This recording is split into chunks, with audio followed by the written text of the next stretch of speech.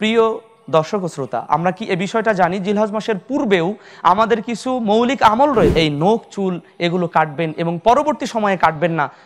তাহলে জালিকা তামাম উদহিয়াত ইন উদহিয়াতিক রাসুল সাল্লাহ আলী আসাল্লাম বললেন, এটা তোমার জন্য হবে পরিপূর্ণ একটা কুরবানির সমান ইন্দ আল্লাহ সুবাহানা তাআলা আল্লাহর নিকটে।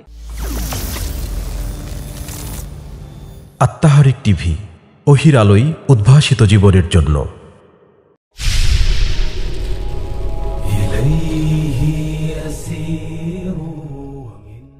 আসসালামু আলাইকুম রহমতুল্লাহ আবরাকাত নাহমদুহু আনুসাল্লি আলা রসুলহিল করিম আম্মাবাদ ফাউযু বিল্লাহি মিনাশ শাইতানির রাজিম। বিসমিল্লাহির রহমানির রহিম। ইন্নাল হাসানাত ইউদহিবনা সাইয়াত আতার টিভির সম্মানিত দর্শক শ্রোতা আতারিক টিভির অন্যতম পরিবেশনা ফাজাইলে আমলের কুরবানি পর্বে আপনাদেরকে স্বাগত জানাচ্ছি। রমাজান মাস আসলে তার পূর্ব প্রস্তুতি আমরা গ্রহণ করি। কিন্তু জিলহাজ মাসের প্রথম দশক আসার পূর্বেও যে আমাদেরকে অনেক প্রস্তুতি গ্রহণ করতে হবে। এ বিষয়টি কি আমরা জানি? যদিও জিলহাজ মাসের প্রথম দশকের, অর্থাৎ এক থেকে দশ তারিখের আমলগুলো আল্লাহ রব্বুল্লা আলমিনের কাছে অনেক প্রিয়।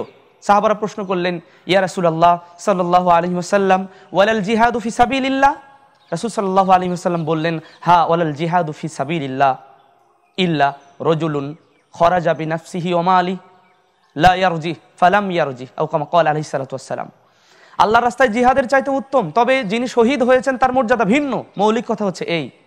কিন্তু প্রিয় উপস্থিতি, প্রিয় দর্শক শ্রোতা, আমরা কি এ বিষয়টা জানি? জিলহজ মাসের পূর্বেও আমাদের কিছু মৌলিক আমল রয়েছে। তার মধ্যে একটা গুরুত্বপূর্ণ আমল, যেটা রাসুল্লাহ সাল্লাহ আলহি আসাল্লাম আমল করতেন, সাহাবারা আমল করতেন। উম্মে সালামা রদি আল্লাহ আনহা থেকে বুখারিতে হাদিস এসেছে সহিল বুখারিতে।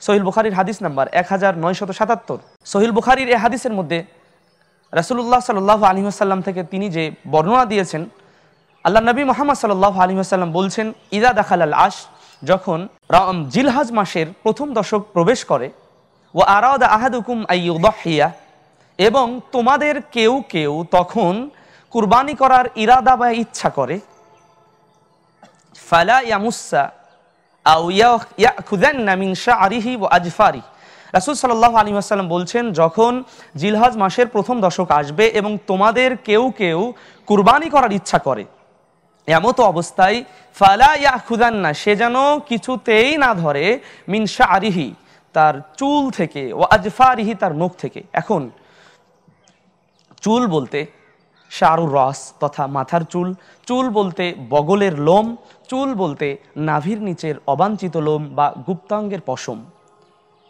সাথে সাথে, অমিন আজফা রিহি দ্বারা নখ বলতে, নখ কাটার কথা রাসুল সাল্লাহ আলী আসাল্লাম নিষেধ করলেন, অর্থাৎ না করলেন, সেক্ষেত্রে হাতের নখ হতে পারে, পায়ের নখ হতে পারে। প্রিয় উপস্থিতি, রাসুল সাল্লাহ আলী আসাল্লাম এটা বললেন। তো এ অনুযায়ী যদি আমরা আমল করি, তাহলে সুরা নিসার সেই বাক্যটি আল্লাহ রসুল সাল্লাহ আলহি আসাল্লামের উদ্দেশ্যে মহান আল্লাহ সুবাহান যেটা বললেন মাইয়ুতি রসুল ফকাত আতা আল্লাহ। যে রাসুল মোহাম্মদ সাল্লাহ আলহি আসাল্লামের আনুগত্য করবে, সে আল্লাহ রব্বুল্লা আলমিনের আনুগত্যই করবে। আমরা রাসুলের আনুগত্য করি, মূলত আল্লাহ সুবাহান আনুগত্য করার জন্য, আল্লাহর সন্তুষ্টি পাওয়ার জন্যে।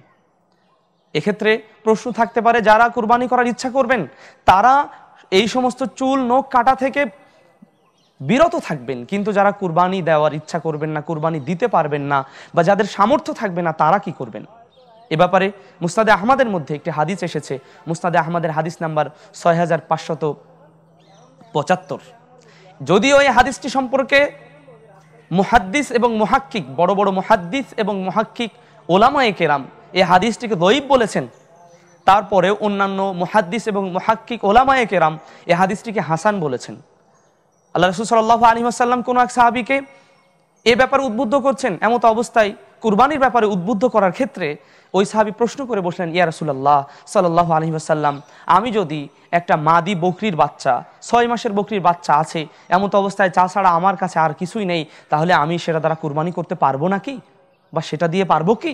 রাসুল সাল্লাহ আলী আসাল্লাম বললেন, না। সাহাবিকে রাসুল্লাহ সাল্লাহ আলী আসাল্লাম বললেন, ওয়ালাকিন তাখুদ মিন শারিক, বরং তুমি তোমার চুল কাটবে ওয়াতুকাল্লিমু আদা ফিরাক এবং তুমি তোমার নখ কাটবে।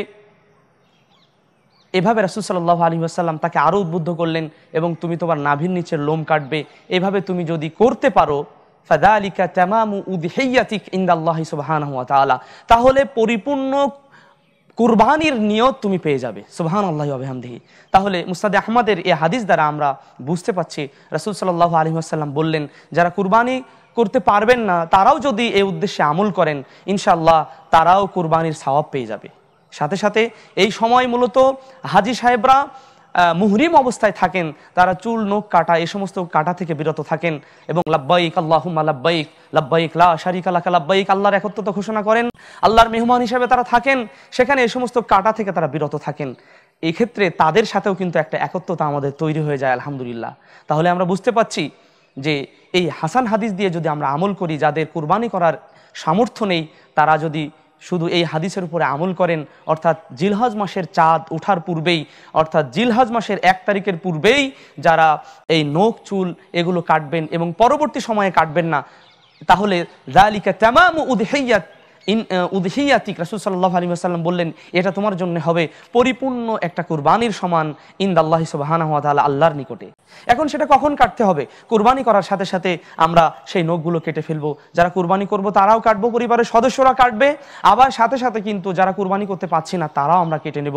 তাহলে সকলের সাথে একটা একত্বতা তৈরি হবে। ইসলামী বিধান যে একক, ইসলামী বিধানের মধ্যে যে একটা একতা, ঐক্যবদ্ধতা এবং পারস্পরিক আনন্দের একটা বিনিময়, একটা ধারা অব্যাহত থাকে, সেটা কিন্তু অবশ্যই থাকবে ইনশাআল্লাহ। আমরা এভাবে আমল করব।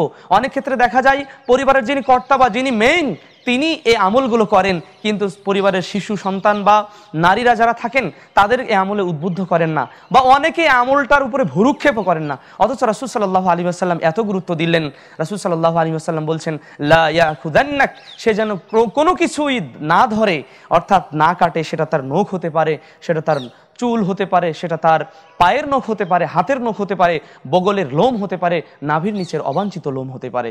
সুতরাং আসুন, আমরা এ বিষয়টা আমল করার চেষ্টা করি। রাসুল্লাহ সাল্লাহ আলী আসাল্লামের সুন্নাতের অনুসারী হই, আমরা আমল করি, ফাজাইলে আমল পর্ব থেকে আমরা এ শিক্ষা গ্রহণ করি। আল্লাহ রব্বুল্লাহ আলমিন আমাদের আমল করা তৌফিক দান করুন। আল্লাহ আমিন।